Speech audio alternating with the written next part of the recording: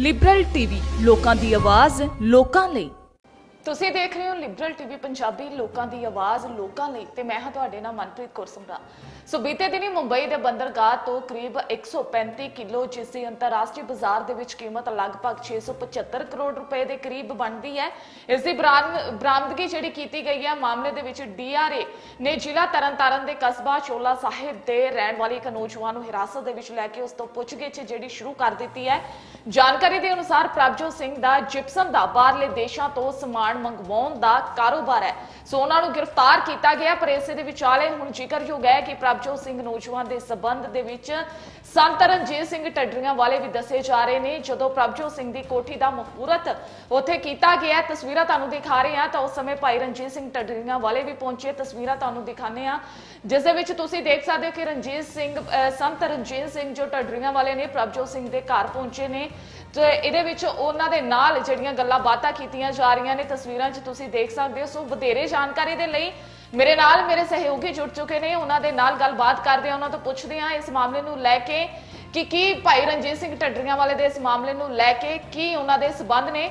ਸੋ ਅੰਤਰਪ੍ਰੀਤ, ਤੁਹਾਡੇ ਤੋਂ ਸਵਾਲ ਪੁੱਛਣਾ ਚਾਹਾਂਗੇ ਕਿ ਜੋ ਕਿਹਾ ਜਾ ਰਿਹਾ ਹੈ ਕਿ ਬਰਾਮਦ ਕੀਤੀ ਗਈ ਹੈ ਖੇਪ ਮੁੰਬਈ ਦੀ ਬੰਦਰਗਾਹ ਤੋਂ। ਤੋਂ ਉਥੋਂ ਜੋ ਨੌਜਵਾਨ ਦਾ ਨਾਮ ਜੋੜਿਆ ਗਿਆ, ਉਸ ਨੂੰ ਲੈ ਕੇ ਤੁਸੀਂ ਕੀ ਕਹਿਣਾ ਚਾਹੋਗੇ? ਕਿਹਾ ਜਾ ਰਿਹਾ ਹੈ ਕਿ ਸੰਤ ਰਣਜੀਤ ਸਿੰਘ ਢੱਡਰੀਆਂ ਵਾਲੇ ਜਿਹੜੇ ਨੇ, ਇਸ ਮਾਮਲੇ ਦੇ ਵਿੱਚ ਵੀ ਉਹਨਾਂ ਦੇ ਨਾਲ ਉਹ ਸੰਬੰਧ ਰੱਖਦੇ ਨੇ। ਕੀ ਕੁਝ ਜਾਣਕਾਰੀ ਹੈ ਇਸ ਨੂੰ ਲੈ ਕੇ? ਬਿਲਕੁਲ ਮਨਪ੍ਰੀਤ, ਨੌਜਵਾਨ ਗ੍ਰਿਫਤਾਰ ਕੀਤਾ ਗਿਆ। 700 ਕਰੋੜ ਦੀ ਜਿਹੜੀ ਹੈਰੋਇਨ ਆ, ਇਹ ਬਰਾਮਦ ਹੋਈ ਆ ਮੁੰਬਈ ਬੰਦਰਗਾਹ ਤੋਂ ਡੀਆਰਆਈ ਦੀ ਟੀਮ ਵੱਲੋਂ। ਇਹ 700 ਕਰੋੜ ਦੀ ਹੈਰੋਇਨ ਜਿਹੜੀ ਆ ਬਰਾਮਦ ਕੀਤੀ ਗਈ ਆ ਤੇ ਨੌਜਵਾਨ ਦੱਸਿਆ ਜਾ ਰਿਹਾ ਤਰਨਤਾਰਨ ਜ਼ਿਲ੍ਹੇ ਦੇ ਚੋਲਾ ਸਾਹਿਬ ਦਾ। ਇਹ ਨੌਜਵਾਨ ਦਾ ਕੰਮ ਜਿਸ ਜਿਪਸਮ ਦਾ ਕੰਮ ਸੀ ਇਹ ਜਿਹੜੇ ਜਿਪਸਮ ਆ ਇਹ ਮੁੰਬਈ ਬੰਦਰਗਾਹ ਦੇ ਰਾਹੀਂ ਇਹ ਮੰਗਵਾਉਂਦਾ ਸੀ ਸਮਾਨ ਤੇ ਉਸੇ ਰਾਹੀਂ ਜਿਹੜੀ ਹੈ ਇਹ ਹੈਰੋਇਨ ਜਿਹੜੀ ਆ ਇਹ ਪਹੁੰਚਦੀ ਆ। ਤੁਹਾਨੂੰ ਦੱਸ ਦਿੰਦੇ ਆ ਕਿ ਬਾਰਡਰ ਜਿਹੜੇ ਆ ਹੁਣ ਬੰਦ ਹੋਣ ਕਾਰਨ ਤਰਨਤਾਰਨ ਖੇਮਕਰਨ ਬਾਰਡਰ ਜਿਹੜੇ ਨੇ ਇਹ ਬਾਰਡਰ ਏਰੀਆ ਦੇ ਸੰਬੰਧਿਤ ਆ ਗੁਰਦਾਸਪੁਰ ਦਾ ਬਾਰਡਰ ਹੋ ਗਿਆ। ਇਹ ਬਾਰਡਰ ਸਖਤਾਈ ਹੋਣ ਦੇ ਕਾਰਨ ਜਿਹੜਾ ਹੈਰੋਇਨ ਦੀ ਸਪਲਾਈ ਆ, ਉਹ ਬੰਦ ਹੋ ਚੁੱਕੀ ਸੀ, ਟੁੱਟ ਚੁੱਕਾ ਸੀ ਨੈਟਵਰਕ ਸਿੰਥੈਟਿਕ ਡਰੱਗ ਜਿਹੜੀ ਆ, ਉਹ ਸਪਲਾਈ ਹੋ ਰਹੀ ਆ ਲਗਾਤਾਰ ਪੰਜਾਬ ਦੇ ਵਿੱਚ। ਤਾਂ ਇਹ ਜਿਹੜਾ ਨੌਜਵਾਨ ਆ, ਇਹਨੇ 700 ਕਰੋੜ ਦੀ ਹੈਰੋਇਨ ਜਿਹੜੀ ਆ, ਉਹ ਮੰਗਵਾਈ ਆ। ਸ਼ਿਪ ਰਾਹੀਂ, ਤਾਂ ਸ਼ਿਪ ਰਾਹੀਂ ਜਿਹੜੀ ਇਹ ਨੌਜ ਜਿਹੜੀ ਹੈਰੋਇਨ ਫੜੀ ਗਈ 700 ਕਰੋੜ ਦੀ, ਇਹ ਡੀਆਰਏ ਦੀ ਟੀਮ ਵੱਲੋਂ। ਤਾਂ ਕੱਲ ਤੁਹਾਨੂੰ ਦੱਸ ਦਿੰਦੇ ਆ ਕਿ ਡੀਆਰਏ ਦੀ ਟੀਮ ਵੱਲੋਂ ਛਾਪਾ ਮਾਰਿਆ ਗਿਆ। ਇਸ ਦੇ ਘਰ ਨੌਜਵਾਨ ਨੇ ਆਲੀਸ਼ਾਨ ਕੋਠੀ ਜਿਹੜੀ ਆ, ਉਹ ਬਣਾਈ ਹੋਈ ਹੈ ਤੇ ਵੀ ਦੱਸ ਦਿੰਦੇ ਆ ਐਸਐਸਪੀ ਧਰੋਮਨ ਨਿਬਾਲੇ ਜਿਹੜੇ ਨੇ ਤਰਨਤਾਰਨ ਦੇ ਐਸਐਸਪੀ ਉਹਨਾਂ ਨੇ ਇਹ ਸਾਫ਼ ਕਹਿ ਦਿੱਤਾ ਕਿ ਡੀਆਰਈ ਟੀਮ ਵੱਲੋਂ ਛਾਪੇਮਾਰੀ ਤਾਂ ਕੀਤੀ ਗਈ ਹੈ ਪਰ ਇਹ ਨੌਜਵਾਨ ਦੀ ਕੋਈ ਅਪਰਾਧਿਕ ਰਿਕਾਰਡ ਜਿਹੜਾ ਨਹੀਂ ਹੈਗਾ। ਤੁਹਾਨੂੰ ਇਹ ਵੀ ਦੱਸ ਦਿੰਦੇ ਆ ਕਿ ਇਸ ਨੌਜਵਾਨ ਦੀਆਂ ਸੰਤ ਰਣਜੀਤ ਸਿੰਘ ਢੱਡਰੀਆਂ ਵਾਲੇ ਜਿਹੜੇ ਨੇ, ਉਹਨਾਂ ਦੇ ਨਾਲ ਸੰਬੰਧ ਦੱਸੇ ਜਾ ਰਹੇ ਨੇ। ਸੰਤ ਰਣਜੀਤ ਸਿੰਘ ਢੱਡਰੀਆਂ ਵਾਲੇ ਇਹਨਾਂ ਦੇ ਘਰ ਆਉਂਦੇ ਨੇ। ਆਲੀਸ਼ਾਨ ਕੋਠੀ ਦੇ ਵਿੱਚ ਸੰਤ ਰਣਜੀਤ ਸਿੰਘ ਢੱਡਰੀਆਂ ਵਾਲੇ ਆਉਂਦੇ ਨੇ। ਤਾਂ ਇਹ ਸੰਬੰਧ ਦੱਸੇ ਜਾ ਰਹੇ ਨੇ ਸੰਤ ਰਣਜੀਤ ਸਿੰਘ ਢੱਡਰੀਆਂ ਵਾਲੇ ਨਾਲ। ਹਾਲਾਂਕਿ ਸੰਤ ਰਣਜੀਤ ਸਿੰਘ ਢੱਡਰੀਆਂ ਵਾਲੇ ਦੀ ਇਹ ਕੋਟਕਪੂਰਾ ਗੋਲੀकांड ਨੂੰ ਲੈ ਕੇ ਐਸਆਈਟੀ ਵੱਲੋਂ ਪਹਿਲਾਂ ਜਿਹੜੀ ਆ ਪੁੱਛਗਿੱਛ ਕੀਤੀ ਜਾਣੀ ਸੀ ਉੱਥੇ ਪੇਸ਼ ਨਹੀਂ ਹੁੰਦੇ ਸੰਤ ਰਣਜੀਤ ਸਿੰਘ ਢੱਡਰੀਆਂ ਵਾਲੇ। ਸਿੱਖ ਪ੍ਰਚਾਰਕ ਪੰਤਪ੍ਰੀਤ ਸਿੰਘ ਪੇਸ਼ ਹੁੰਦੇ ਨੇ। ਤੇ ਰਣਜੀਤ ਸਿੰਘ ਢੱਡਰੀਆਂ ਵਾਲੇ ਉੱਥੇ ਪੇਸ਼ ਨਹੀਂ ਹੁੰਦੇ ਤੇ ਇੱਕ ਨਵਾਂ ਮਾਮਲਾ ਜਿਹੜਾ ਉਹਨਾਂ ਨਾਲ ਜੁੜ ਗਿਆ ਕਿ ਉਸ ਸੰਬੰਧ ਦੱਸੇ ਜਾ ਰਹੇ ਤਾਂ ਤੁਹਾਨੂੰ ਤਸਵੀਰਾਂ ਜਿਹੜੀਆਂ ਸਾਡੇ ਸਰੋਤੇ ਜਿਹੜੇ ਦੇਖ ਰਹੇ ਨੇ ਕਿ ਉਸ ਨੌਜਵਾਨ ਦੀਆਂ ਤਸਵੀਰਾਂ ਸੰਤ ਰਣਜੀਤ ਸਿੰਘ ਢੱਡਰੀਆਂ ਵਾਲੇ ਦੇ ਨਾਲ ਵਾਇਰਲ ਹੋ ਰਹੀਆਂ ਨੇ। ਤਾਂ ਇਹ ਤੁਹਾਨੂੰ ਵੀਡੀਓ ਦੇ ਵਿੱਚ ਵੀ ਤੁਹਾਨੂੰ ਤੁਸੀਂ ਦੇਖ ਰਹੇ ਹੋ ਕਿ ਜਿਹੜੀ ਵੀਡੀਓ ਆ ਜੀ ਅਲਟਰਪ੍ਰੀਤ ਕੀ ਲੱਗਦਾ ਹੈ? ਜੀ ਕੀ ਲੱਗਦਾ ਹੈ ਕਿ ਜੋ ਉਹਨਾਂ ਦੇ ਵੱਲੋਂ ਇਹ ਕਿਹਾ ਜਾ ਰਿਹਾ ਜੋ ਖਬਰ ਨਿਕਲ ਕੇ ਸਾਹਮਣੇ ਆਉਂਦੀ ਹੈ ਕਿ ਇਹਨਾਂ ਦਾ ਸਬੰਧ ਸ਼ੋ ਰਣਜੀਤ ਸਿੰਘ ਢੱਡਰੀਆਂ ਵਾਲੇ ਦੇ ਨਾਲ ਹੈ ਕਿ ਇਸ ਮਾਮਲੇ ਦੇ ਵਿੱਚ ਕਿਸੇ ਤੋਂ ਪੁੱਛ ਪੜਤਾਲ ਜਿਹੜੀ ਕੀਤੀ ਗਈ ਹੈ ਜਾਂ ਕੀਤੀ ਜਾਵੇਗੀ? ਕੀ ਲੱਗਦਾ ਹੈ ਇਸ ਨੂੰ ਲੈ ਕੇ? ਬਿਲਕੁਲ ਬਿਲਕੁਲ ਹੋ ਸਕਦੀ ਹੈ। ਸੰਤਰਜੀਤ ਸਿੰਘ ਢੱਡਰੀਆਂ ਵਾਲੇ ਕੋਈ ਐਸਆਈਟੀ ਤੱਕ ਹੀ ਪੁੱਛਗਿੱਛ ਕਰਨ ਲਈ ਤਿਆਰ ਹੈ ਕਿ ਪੁੱਛਗਿੱਛ ਕੀਤੀ ਜਾਵੇਗੀ ਕੋਟਕਪੂਰਾ ਗੋਲੀकांड ਨੂੰ ਲੈ ਕੇ ਤਾਂ ਉੱਥੇ ਬਿਲਕੁਲ ਜੇਕਰ ਇਹ ਸਬੰਧ ਨਿਕਲਦੇ ਨੇ ਕੋਈ ਨਾ ਕੋਈ ਸਬੰਧ ਆਉਂਦਾ ਕਿ ਸੰਤ ਸੰਤਰਜੀਤ ਸਿੰਘ ਢੱਡਰੀਆਂ ਵਾਲੇ ਦਾ ਇਹਨਾਂ ਨਾਲ ਸਬੰਧ ਵਾ। ਇਸ ਤੋਂ ਬਾਅਦ ਕਾਂਗਰਸੀ ਲੀਡਰਾਂ ਦੇ ਨਾਲ ਵੀ ਇਸ ਨੌਜਵਾਨ ਦੇ ਸਬੰਧ ਦੱਸੇ ਜਾ ਰਹੇ ਨੇ ਕਾਂਗਰਸ ਦੇ ਵੱਡੇ ਲੀਡਰਾਂ ਨਾਲ ਤੇ ਨੈਟਵਰਕ ਨੈਟਵਰਕ ਜਿਹੜਾ ਚੱਲਦਾ ਹੈ, ਇਹ ਵੱਡੇ ਲੀਡਰਾਂ ਦੇ ਨਾਲ, ਵੱਡੀਆਂ ਫਰਮਾਂ ਦੇ ਨਾਲ ਨੈਟਵਰਕ ਦਾ ਨਚਰਾ ਨੈਟਵਰਕ ਚੱਲਦਾ ਪੰਜਾਬ ਦੇ ਵਿੱਚ।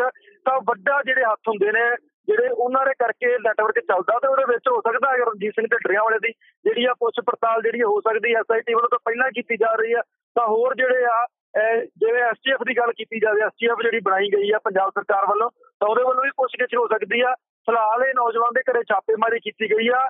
ਕੀ ਕੁਝ ਬਰਾਮਦ ਹੋਇਆ ਫਿਲਹਾਲ ਇਹਦੀ ਕੋਈ ਜਾਣਕਾਰੀ ਨਹੀਂ ਮਿਲੀ। ਪਰ। ਇੱਕ ਨਸ਼ੇ ਦਾ ਨੈਟਵਰਕ ਜਿਹੜਾ ਇਹ ਚਲਾ ਰਿਹਾ ਸੀ ਪ੍ਰਭਜੀਤ ਨਾਮ ਦਾ ਨੌਜਵਾਨ ਇਹ ਤਰਨਤਾਰਨ ਜ਼ਿਲ੍ਹੇ ਦੇ ਚੋਲਾ ਸਾਹਿਬ ਦਾ ਰਹਿਣ ਵਾਲਾ ਦੋ ਨੌਜਵਾਨ ਉੱਥੋਂ ਇਹ ਗ੍ਰਿਫਤਾਰ ਕੀਤੇ ਗਏ ਨੇ ਮੁੰਬਈ ਦੀ ਬੰਦਰਗਾਹ ਦੇ ਉੱਤੋਂ। ਤਾਂ ਵੱਡੀ ਜਿਹੜੀ ਸਫਲਤਾ ਮਿਲੀ ਆ 700 ਕਰੋੜ ਦੀ ਜਿਹੜੀ ਆ ਹੈਰੋਇਨ ਬਰਾਮਦ ਕੀਤੀ ਗਈ ਆ। ਤੇ ਹੈਰੋਇਨ ਜਿਹੜੀ ਆ ਇਹ ਬੰਦਰਗਾਹ ਦੇ ਉੱਤੇ ਉਤਰਦੀ ਆ। ਜਿਪਸਮ ਦਾ ਇਸ ਨੌਜਵਾਨ ਦਾ ਕੰਮ ਸੀ ਤਾਂ ਉਹ ਬੰਦਰਗਾਹ ਦੇ ਉੱਤੇ ਨਾਲ ਦੀ ਨਾਲ ਜੇ ਆਪਣੇ ਸਮਾਨ ਦੇ ਨਾਲ ਹੈਰੋਇਨ ਵੀ ਮੰਗਵਾਉਣਾ ਹੋ ਸਕਦਾ।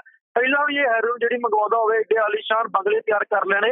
ਇਹ ਕੋਈ ਜਿਹੜਾ ਵਾ ਹੋਰ ਕੋਈ ਨਹੀਂ ਕਰਦੀ। ਰੱਬ ਕਹਿੰਦੇ ਹੁੰਦੇ ਨਾ ਪੰਜਾਬ ਦੇ ਵਿੱਚ ਅਕਸਰ ਹੀ ਜਿਹੜੀ ਆ ਕਹਾਵਤ ਮਸ਼ਹੂਰ ਹੈ ਕਿ ਜਿਹਨਾਂ ਦਾ 2 ਨੰਬਰ ਦਾ ਪੈਸਾ ਜਿਹਨਾਂ ਦੀ 2 ਨੰਬਰ ਦੀ ਕਮਾਈ ਆ ਉਹ ਹੀ ਅਜਿਹੇ ਜਿਹੜੇ ਆ ਵੱਡੇ ਵੱਡੇ ਆਲੀਸ਼ਾਨ ਜਿਹੜੇ ਮਹਿਲ ਖੜੇ ਕਰਦੇ ਨੇ ਉਹਨਾਂ ਦੇ ਜਿਹੜੇ ਆ ਇਹ ਨਸ਼ਾ ਤਸਕਰਾਂ ਦੇ ਨਾਲ ਨਾਲ ਲੀਡਰਾਂ ਦੇ ਵੱਡੇ ਲੀਡਰਾਂ ਦੇ ਜਿਹੜੇ ਨਾਂ ਆਉਂਦੇ ਨੇ।